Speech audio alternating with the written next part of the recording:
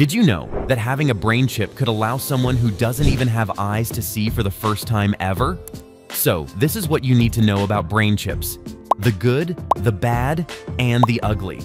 Today we're exploring the fascinating world of brain chips. But before we dive in, if you're new here, make sure to hit that subscribe button and turn on notifications so you never miss out on our latest videos. First things first, what exactly are brain chips? Well, Imagine a tiny, implantable device that can interact directly with your brain, enhancing cognitive abilities and memory, and even providing instant access to information. Sounds like something out of a sci-fi movie, right? But believe it or not, it's a reality. Now, just to get the obvious question out of the way, the only reason that any kind of brain implant is even possible is that our brains are basically naturally occurring electronic devices. Every single action that you take comes from your brain, sending electrical signals through your nervous system to your various body parts. And so, what neuroscientists realized is that by inserting electrodes into our brain that can both record and send these pulses of electricity, and then connecting those electrodes to a chip that can relay information to and from your brain, we can effectively restore and even enhance our existing brain function. That's it. That's how a brain chip works. Elon Musk announced that the first human has received a brain implant through his Neuralink startup, marking a new step forward for the company and its goal to connect the human brain to computers. But what exactly is Neuralink, and what should you know about it? Let's find out. Neuralink, the brainchild of Elon Musk, has been making waves in the technology and scientific communities. With claims of merging humans with artificial intelligence, it's no wonder that there is so much hype surrounding this innovative venture. But amidst all the excitement and media coverage, it is essential to dive deeper into the science behind Neuralink and its potential impact on our society. So, how does Neuralink work? Neuralink's system involves the implantation of tiny electrodes into the brain. These electrodes, finer than a human hair, are strategically placed to pick up electrical signals from individual neurons. Once these signals are captured, they are transmitted to a computer for decoding and interpretation. This intricate connection between the brain and technology opens up a realm of possibilities for medical treatments and human-machine interaction. By understanding and decoding the electrical signals generated by the brain, Neuralink's technology can potentially help researchers gain insights into how the brain works and develop targeted therapies for various neurological conditions. Neuralink made headlines by showing a video of a monkey playing Pong with his mind controlled by a surgically implanted wireless device that can directly read brain signals and interpret its intended commands. The technologies that enable such communication between a computer and the brain are called brain-machine interfaces, also known as BMIs. Brain-machine interfaces, or brain-computer interfaces, as the terms are used interchangeably, are technologies designed to directly plug into the nervous system, the brain, the retinas in the eyes, which are actually a part of the brain itself, the spinal cord, or the peripheral nervous system. The Neuralink example and other similar technologies are designed to read and decode neural signals from individual neurons in selected parts of the brain in an attempt to understand the brain's outputs. Instead of the outputs going to the arm of a monkey or a human controlling a joystick to play Pong or some other video game, they go to a computer that plays the game instead.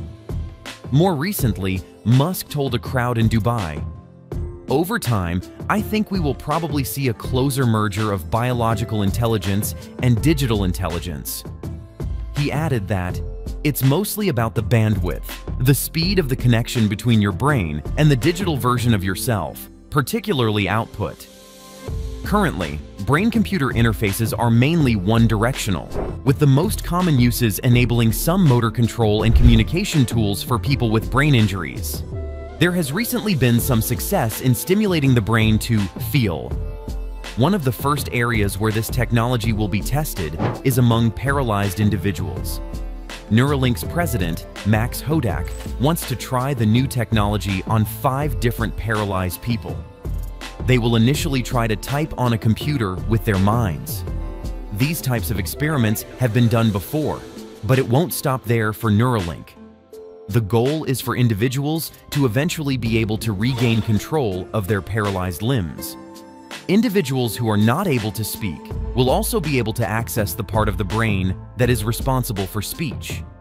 In the presentation, Musk talked about how they want the technology to be controlled by an app on your smartphone. This was a big point for them, as they believed if someone had to go to a lab full of scientists every time to use it, that would defeat one of its main purposes, which is giving people immediate access to brain-integrated AI. Neuralink's brain surgery procedure is revolutionary, requiring no skull clamps, no sleep, local anesthesia, and no hair shave.